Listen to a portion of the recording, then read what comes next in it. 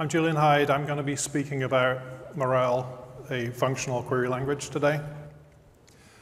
Um, I'm going to post the slides at my Twitter account, so um, you don't need to take pictures of the screen. Uh, they'll, they'll be posted right after the presentation.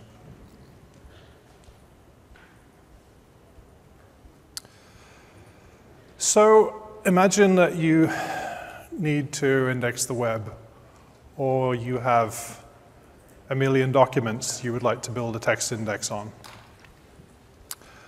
Um, so here are the files. And what you want to do is break them into individual words. Um, and for each particular word, you want to build an index that says, has, contains all the document IDs that contain that word. Or to simplify a little, maybe you just want to count the number of occurrences of the words in all those documents. So this is a classic problem, classic distributed systems problem. Um, and the distributed system that you want to build in order to do this efficiently is going to look something like this. So you want multiple workers that are each taking a set of documents, splitting them up into words, um, shuffling the words um, so that all, all occurrences of the words beginning with A go to a, the same reducer, and all the words that begin with P go to another reducer. And then those reducers are going to write out the sorted index files. And if we simplify the problem a little bit, we end up with the, the well-known word count problem, where we're not actually storing the document IDs, we're just simply counting the number of occurrences of each word. So this problem, this, this problem word count, um, it first arose, as far as I know, in the MapReduce paper around 2005. Um, and it was arguing for this kind of distributed system and arguing for a particular programming model called MapReduce to solve it. Um, I'm bringing it up here because I, the problem we're interested in is data parallel programming. Um, Parallel meaning that you are processing the same input, but you have multiple workers that are working on that input. Um, and it's, uh, some people have called it embarrassingly parallel. In other words, the workers don't need to communicate with each other. As long as you are able to divide the work into partitions of data, each worker can work on a particular stream of data um, and not interfere with the other workers, which makes it, you know, very, very scalable. Course, the problem is to recognize um, the, those streams of data that uh, can be processed independently. So it's for solving batch processing problems or perhaps incremental streaming problems. Um, the input is it's working on large immutable data sets. Um, and uh, one particular feature of this that drove you know, the uh, MapReduce model and things like Hadoop and Spark is that the, these jobs are so big that there's a significant chance of hard, some hardware failure dur failing during the execution. So in MapReduce, the way that they did this is they, surprisingly, I think at the, at the time it was very surprising, they, just, they turned to functional programming as a way of expressing this problem. And they said, let's suppose the system provides a function called MapReduce, and you, the programmer, supply it with, and MapReduce is a large, complex function. It's in fact a framework, right? Many thousands of lines of code. Um, and it's a distributed system.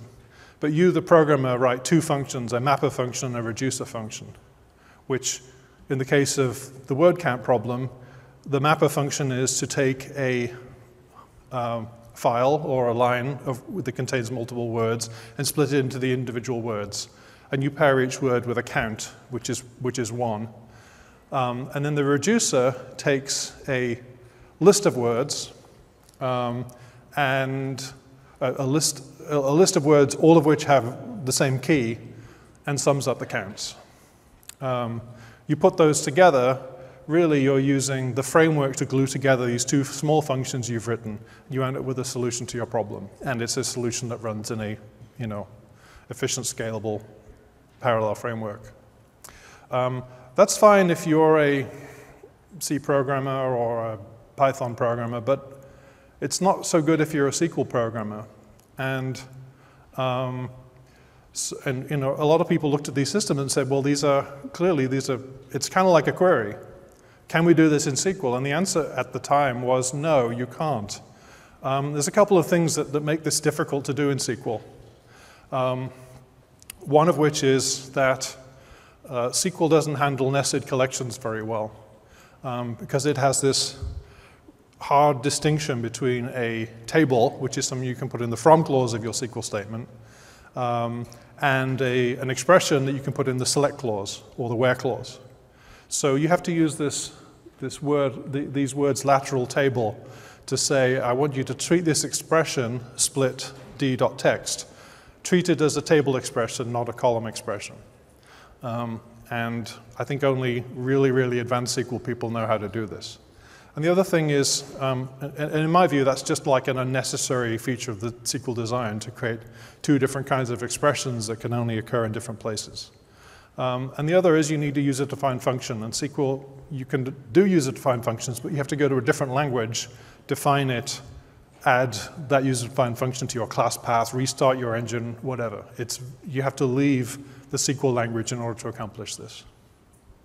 So I'm going to be talking about a language called Morel, uh, which solves this problem in three lines.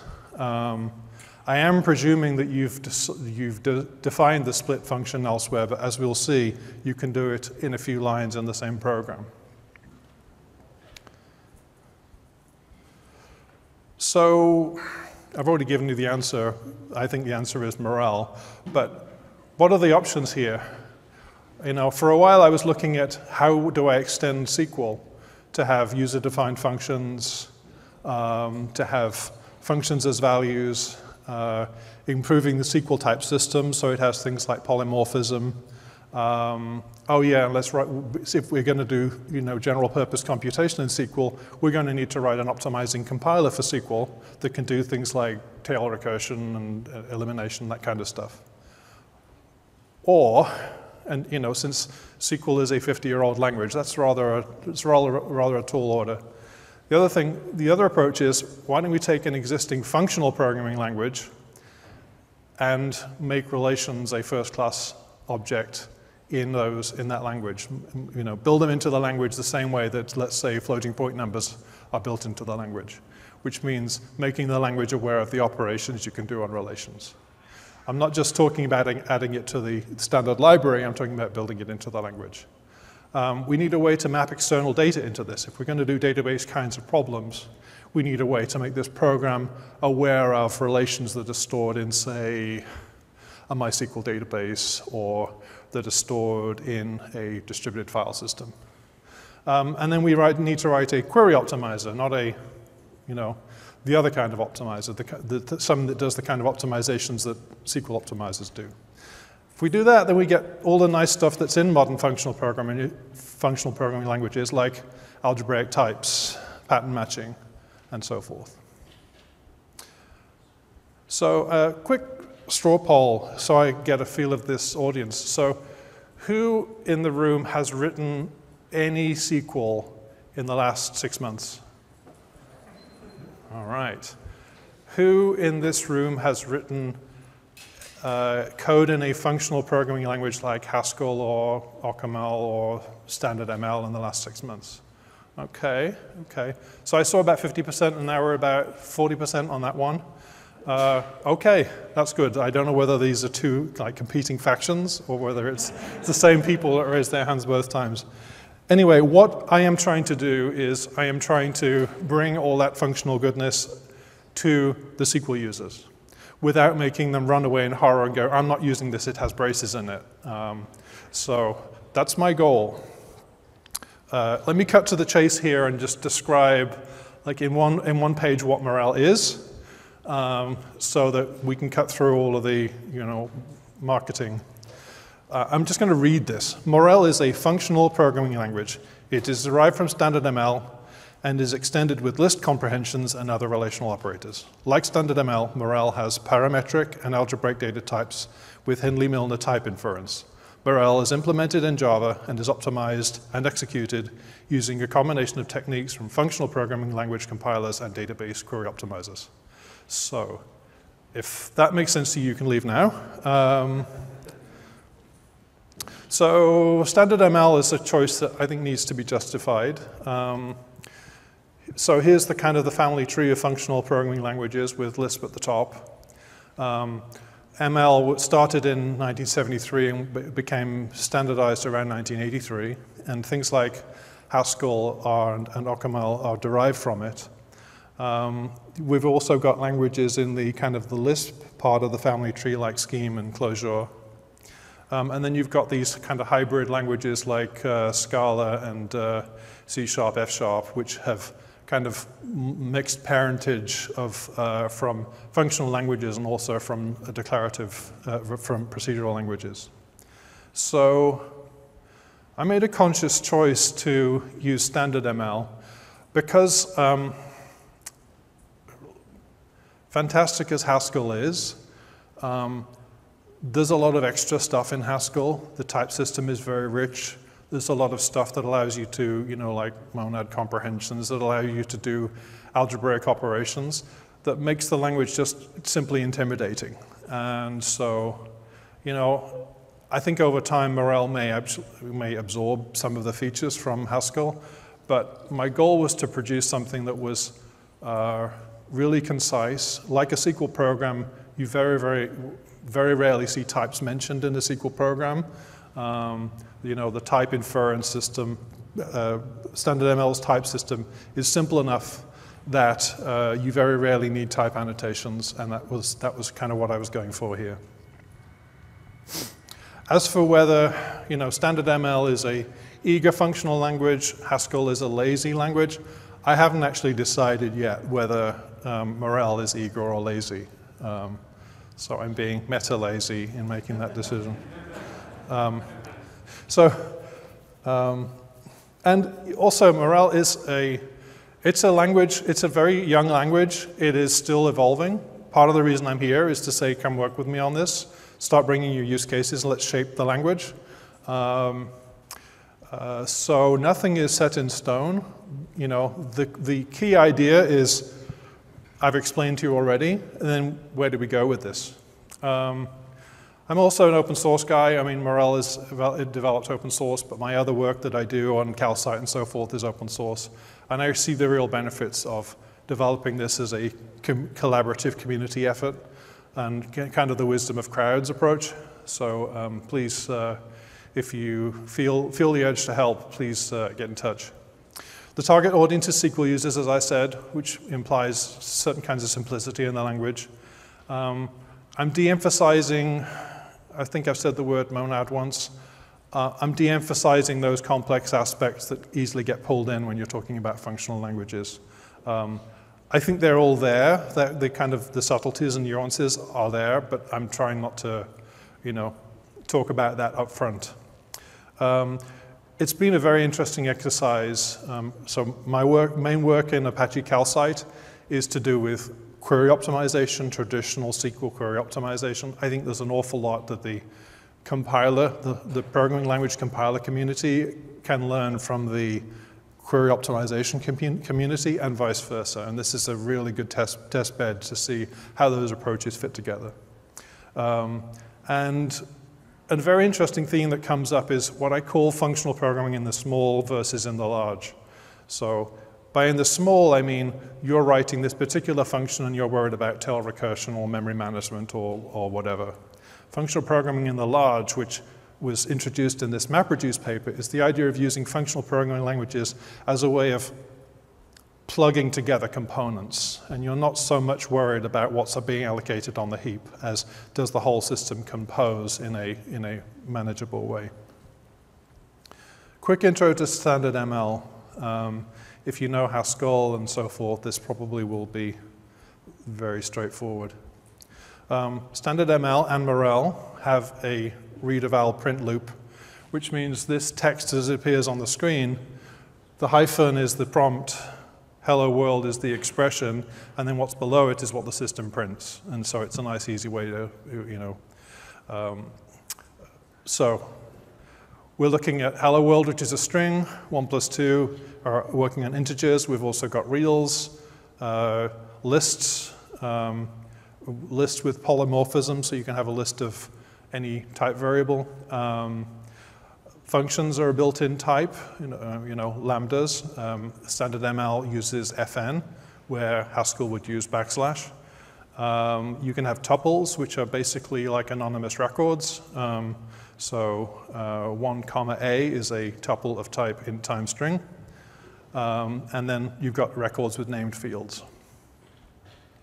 The record type is uh, actually one of the key reasons I went for ML because uh, Haskell, or at least most variants of Haskell, don't have uh, support for record types built in, as I understand. Um, so you define variables, val x equals 1. It's not really a variable because once it, its, its value is set forever. You can't reassign x. Um, but there's no better word in the programming language community besides variables. Um, val is odd. Here I'm defining a value um, whose value is a lambda, so it's exactly the same as the line below it, where I use the fun keyword to define a function. So fun is just syntactic sugar for defining a value whose value is a lambda. And then I'm applying this is odd function to x, and it says yes, one is, is, is uh, uh, is odd. And then lastly, the let construct, which allows me to define some temporary values and then evaluate an expression. Um, ML has uh, algebraic data types defined using data type, which you can think of as a uh, tagged union or something like that. Um, so I can say a tree has three different subtypes, empty, leaf, and node. Um, this is polymorphic, meaning it's a tree of any data type that you want. Um, in this, I'm going to instantiate it here with ints, and so each of those words becomes a constructor. So like leaf 7, reading from the right, creates a int tree with one element in it. And so the whole expression there will create a tree with five elements in it. Um, and uh, with the algebraic data type, it's very natural to write a case statement to basically exhaustively, you know, you've got three branches in that case statement. You can handle empty, leaf, and node. Um, and uh, you can easily prove that you've covered all of the cases. and one interesting thing about case is when I write node um, ILR, I'm actually declaring those variables at that point. I'm declaring variables and assigning them at the same time as I'm pattern matching. So those are actually the declarations of those variables. So case not only matches patterns, but it kind of deconstructs objects as it's, as it's going. Um, and then, uh, yeah, so the fun is also, you know, you could, there's a variant of fun which is shorthand for case, where you can define the function with, you know, many different uh, forms, and case will it'll automatically generate a case that, that uh, uh dispatches to the right version of it. Um, so in ML, the relations, I use the word relation and list interchangeably. I know they're technically different. Um, ML has higher order functions. So a function like filter, which takes a list and a, a function that returns a Boolean and will return a subset of that list um, where the, that function evaluates to true. So a higher order function is something that takes a function as an argument, or perhaps returns a function as a result. So filter and map are built into ML in many functional languages. Um, and a lot of people have noticed that this is equivalent to SQL. So the where clause in SQL has a very similar effect to the filter clause. And um, this is uh, kind of not an accident. Um, it's just that in order to write that in ML, I have to write list.filter and this complicated looking lambda expression. Um, if I want to do joins, so here's a join expression in the, in the SQL, joining emps and deps with where they have, have the same department number. It now turns into seven lines of ML, list.map, and so forth. Um, if you read it from the inside, you see you, your um, uh, reading from uh, the, the EMPS uh, relation, then you're using FlatMap to read from the departments uh, all of the all of the department records, and then you're applying a filter to filter out the ones that are not the same. So uh, we're doing relational programming here, but it's very verbose and it's upside down. Um, so in Morel, I aim to make those kinds of operations first class. So um, since Morel is a superset of standard ML, this program is valid Morel as well. Um, but I added a new expression to um, Morel that isn't in standard ML, which is this from expression. And it has subclauses where and yield. So from, I'm saying, you can think of it like a for each loop in, in a, you know, in Java or whatever. Um, so it, it is going through the EMPS collection and it is successively binding E to each, each, each record in the EMPS collection. And then for each EMP, it's going through the DEPS collection and binding D. So it's doing a you know, nested loop here. And then applying where, um, filtering the things out. So you can think of this as doing nested loops, or you can think of it as a pipeline of relational operations. You, it doesn't really matter what it is. It, how, how it does this is an implementation detail. Um, and then lastly, um, I added some syntactic sugar to Morel so you didn't have to use this pound depno, this, this accessor function for finding a particular field. Um, so I allowed you to write e.depno to access the depno field of the e record. So this starts to begin an awful lot, look an awful lot like SQL. The select clause is the first thing in SQL and it's the last thing in, uh, in Morel, and I think everyone acknowledges that's the way SQL should have been in the first place. Uh, uh, other than that, and the fact that I choose lowercase keywords because I don't want this to look like COBOL, um, uh, there we are. So let's go back to word count. I promised we'd come back. So this is the full working word count uh, solution. So I was able to use the let clause to define a temporary function called split. Um, and I'm, I'm building this, you know, from the, from the primitives. So um, I am, uh, let me see, yeah, so I'm using the string.str built-in function um, that uh, explodes a string into its constituent characters. Um, and then the, I'm able to define a split function um, I'm sorry, string explode is the thing that converts a string into characters. So now I've defined this split function from first principles. I can then use it, um, and this thing now looks an awful lot like a, a SQL query. So, yeah, and here it is running. Um, it works. Um, so this is where this distinction between programming in the small and programming in the large comes in. So programming in the small is this, you know, you're working in individual characters and, uh, you know, you're writing recursive functions and so forth.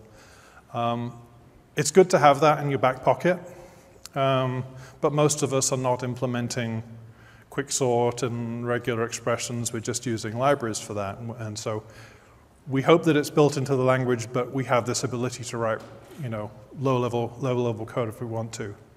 Um, and then I call this pro functional programming in the large. Um, so the contribution of Morel is to put those both kinds of programming in the same, in the same language, um, which gives the opportunities for the optimizer or the yeah, compiler, whatever, um, to kind of see, see the, the, the, the, the whole problem from beginning to end. But you still want to use this for programming in the large, and so you'd still like to be able to, you'd like to be able to define this function once, um, and then run this large-scale program on 100 compute nodes. And Morel makes it possible to do that. Um, let's just drill into some more, more of the features here. Um, so um, when you define a function in Morel, um, so here's a function called emps2, uh, which runs a query or a from expression. Um, the from expression returns a bunch of records, and in fact, one of the fields in the record, this comp field, is actually a lambda. So emps2 is a function that returns a relation that contains a function. Um, and that's what I mean about functions being first-class objects. You certainly couldn't dream of doing this in SQL, right? You, you're, you can have, I guess you can have uh, like uh, points and geo, uh, geographical regions and spatial data inside your SQL data set, and I guess you can have XML documents. But I've not seen a variety of SQL where you can actually has, have a function as a value in your relation. But, you know, why not, right? It's 2021. Um, so, uh, so that's this idea of making functions as values, you know, pervasive throughout the language. The other thing about this is a, um, a, a, functional language compiler will take this, this function, and if I use emps2, um, it will, or in fact, if I use comp as well, it will try and inline it. It'll say, it'll say, do I have a definition of emps2 which is going to be the same every time I call this? In which case, I'll inline this thing. Um, so it will cease to be a function call anymore. Um, and that gives opportunity for some significant uh, optimizations. Turns out that kind of expansion is exactly what every relational database has been doing since 1980, which is called view expansion. If you define a view, it doesn't evaluate the view and get the records and pass it on to the rest of the statement. It expands the view the same way a C compiler would expand a macro. So um, there's an example of functional languages and query optimizers kind of doing the same thing, just giving different names for it. Um, and yeah, there it is, it works. So, uh, so in this particular query, I've decided to call comp with um, passing it the value 1,000. So this, probably the compiler can, can inline this because it knows that comp always has the same definition. So um, there's various clauses of the from statement. Um, each of which represents a particular relational operator, and we can chain them together. So here's a rather contrived example where we um, uh, read employees, and then we sort them, and then we apply a where clause. Um, sorry, then we, then we compute some additional stuff. You know, we compute the, uh, the name length field. Then we apply a filter where name length is greater than 4, uh, we uh, aggregate using the group construct and compute a couple of aggregate functions. And then we apply another filter, and then we finally project the results. So in SQL, you can't have, the, you've got to limit, you know, there's six possible clauses in a select statement, and generally you can only use three or four of them. In this case, in Morel, you can basically continue changing these as long as you want to. Um, so let me just take this step by step. And you know, initially we've got the fields department number ID and name. And then after we apply the order operator, the results change, the, the, the order of the results change, but we've still got the same fields. When we apply the yield expression, we've got an extra field available, the name length field becomes available. So as you can see, each step in a Morel um, from statement is basically making more a different set of variables available. Um, and so, you know, when I'm applying this where uh, clause, we can use the name length field, which was, which was available previously. Um, the group expression radically changes the, the, the because, because we're folding together multiple records, um, the individual fields of those records, unless they're in the group clause, those individual fields, like the name, for example, is no longer visible after the group. Um, but, uh, and then we can also compute some aggregate functions. In this case, we're counting the number of fields in the records in the group and summing the name length. So this stuff composes really nicely. Um, just a comparison the, the, the, there's the Morel program. Uh, the SQL is of a similar length, but you can see the nesting is extremely complicated and you have to read it inside out again. Um, you can think of this, as I said, as a, as a for loop in a procedural language like Java, where you start off the outermost loop is the for, uh, uh you know, iterating over the emps relation. Uh, it gets complicated very quickly, but if you want to, you can think of it as you know, binding, you know, the, the name and name length and ID fields, and then doing some stuff inside the loop. So now Calcite. Um, uh, Apache Calcite is the project I founded um, about 10 years ago. It's an Apache project. Um, uh, Calcite is an implementation of relational algebra. Um, and you'll see in a minute why we, why we decided to bring Calcite into Morel. Um, Calcite is a toolkit for building a database management system. It's used, for example, it's the query optimizer inside Hive. Um, uh, it also powers uh, Apache Beam and the SQL implementation of Beam. Um, and it is designed not so much as a product, more as a toolkit. So naturally, a lot of pieces of it are pluggable. Um, a particular interest is that the, um, the rewrite rules that power the query optimizer are pluggable as well. We've got about 200 built-in rules, but people add new rules all the time. Um, I should call them transformation rules. Um, and uh, many parts of it are optional, but the relational algebra is really the core of it, the, the orange ellipse there.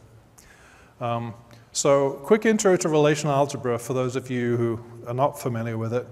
Um, this is how Calcite would take a query, a select query, a reasonably complex one, and you kind of read from the bottom up. So the first thing it does is it scans the employees and departments tables, applies, uh, uh, runs them through the join operator, and then runs that, the results of that through the filter operator and then the aggregate operator. So the, you can see there's a lot of parallels with the, the Morel from statement there. Um, the way Calcite works, the big contribution Calcite makes is well, it has an implementation of relational algebra, but it has rewrite rules. So if you take a look at the filter and the join over there, what we're doing is we're joining the employees and departments together, and then we're throwing away all employees who are um, younger than 50. Um, we can do that earlier on, right? We, we, we know that we can throw away the employees under the age of 50 before we do the join, which means the join has less work to do.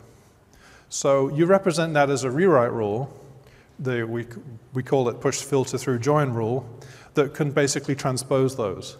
That's an algebraically valid operation because it is always, you know, before and after that transformation will always produce the same results. So a query optimizer um, works based on, uh, by having lots of these rewrite rules and applying them um, using dynamic programming guided by cost.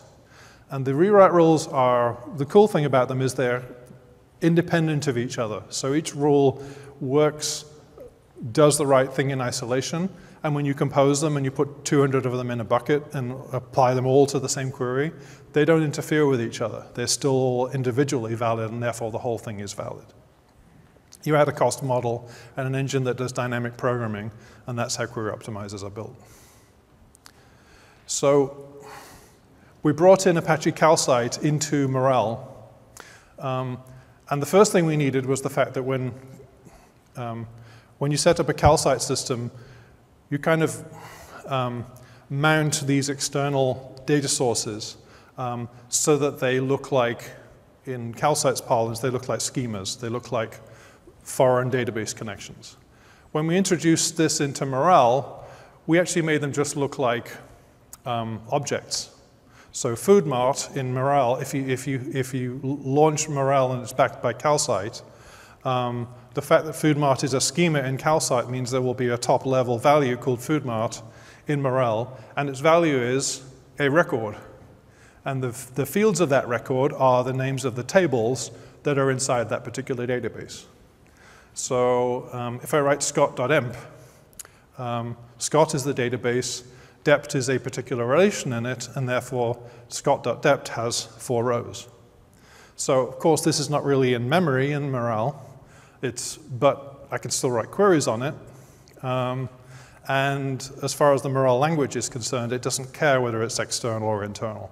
So I can write this expression from D in scott.dept where not exists, and you can kind of see it maps directly to a SQL statement um, but the, as far as Morel's semantics are concerned, it might as well just be a set of you know, records in a list. Um, so if we set hybrid to true, this tells the Morel compiler to consider implementations of this that use calcite relational algebra and uh, tries, to, tries to generate a plan using relational algebra. And so this is what will come out as the plan. So this is, this is a calcite plan. Calcite, all of these things, it's a logical project on top of a logical filter. So calcite hasn't decided how it's going to execute this yet. Calcite might decide to generate a Spark program to execute it. Um, but uh, you know, this is the starting point for Calcite to do what it does. So the optimization is this, I mentioned this, this interesting kind of um, collision of the two different systems. So relational query optimization applies to the relational operators, um, and you have transformation rules that match particular operators, and there's, there's probably about 10 core operators. I, I, showed you earlier the one that matches a filter on top of a join. There's another one that matches a filter on top of a project, and so forth. So the transformation rules match those patterns and re basically reorder the relational operators. Um, and it makes decisions based on statistics, if it has statistics. And relational query optimization is incredibly good at like whole program optimization. I mean, pushing a filter through a join or converting a, pushing a union into a join or something can result in the program running 100 times or 1,000 times or a million times faster. These, these are kind of everyday results from query optimizers. Functional programming optimization are, they're often um, much more smaller benefits, um, uh, but you know, definitely affect things like the amount of memory that's allocated, uh, the size of the, the, the stack, um, and so forth. So it's just been interesting. I can't kind of go into all of the details, but it's been interesting finding out optimizations that exist in both places that have you know, different names, um, and then optimizations that are kind of genuinely new. Um, the big picture. Um, why am I doing this? I the, the, so the word count example is, it's interesting because it has, um, uh, it's a convergence of programming in the small and, and, and programming in the large. Um, uh, the, the goal of word count was to introduce this new compute model. Um, uh, you know, the, the, the MapReduce compute model and the idea of a, of a distributed system running little fragments of user code um, in a massively parallel system. So um, neither of the, these are two kind of the two existing compute models that, that existed, let's say, 20 years ago. You've got the functional programming model that allows you to write kind of cute recursive functions and stuff, factorial function and, and all the rest. Um, and then um, you've got the you know, query systems like the SQL systems that allow you to do large computations, but it's not Turing complete. You can't do general purpose programming. So um, the MapReduce and uh, uh, work basically took the functional paradigm into data parallel systems um, and the SQL community that I was a part of at the time, we took it as a great threat that people were doing our, our kind of problems, solving them in a, a, a you know, a functional programming way. Um, there's been relational programming in the functional language community with things like list comprehensions and monad comprehensions in, in languages like Haskell, um, that you can kind of see the relationship. But the, the, the, problem with that is that those looked alien to people that were writing SQL queries. So, um, well, they, they look kind of similar, but there were very few SQL programmers that were prepared to cross over to Haskell. Plus, it didn't run on a distributed system. So what we've tried to do in Morel is kind of create these links, more of an explicit link between the good things of the query system, which is query optimizers and so forth, and the ability to run on you know, large parallel systems, uh, integrate that more closely with the, the, functional programming language type system and, and, and so forth. So I see Morel as this opportunity to unify um, the, all of these various ideas. Um, and I encourage you to try it out and uh, come and work with me. So in summary, Morel is a functional query language. Um, it has a rich type system inherited from its uh, functional programming uh, parentage. Um, it's as concise as SQL, um, but it is also Turing complete. It's a general purpose language. Um, it combines relational query optimization and uh, Lambda uh, functional programming optimization techniques. Um, it, it natively executes in a Java interpreter, but it can generate programs for uh, data parallel engines. So I don't think we have time for questions here, um, but I'll be outside the door and we'll happily chat for many, many hours as long as you guys want to talk. So.